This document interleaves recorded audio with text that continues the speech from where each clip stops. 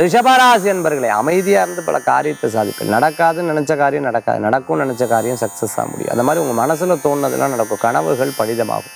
விடாமுயற்சி வெற்றியை தரக்கூடியதாக சகோதர சகோதரிக்கு உங்களால் முடிஞ்ச உதவிகள் எடுத்து பண்ணுவேன் நல்ல நல்ல நபர்களை சந்திப்பேன்.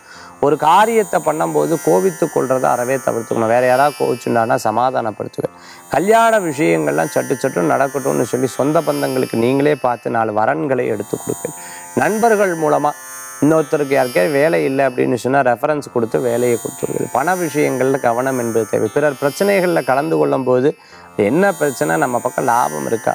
நம்ம பக்கம் நல்லது இருக்கா? நம்ம பக்கம் தப்பு இருக்கா? பார்த்து விட்டு அதுக்கப்புறம் கலந்துக்கிறது நல்லது. இன்றைய தினத்துக்கு உண்டான அதிர்ஷ்டமான எண் ஒன்று நிறம் பல வர்ண நிறம் வழிபாட்டுக்குண்டான தெய்வம் விநாயகப் பெருமான் வழிபாடு முருகப்பெருமான் வழிபாடு வெற்றி வழிபாடு.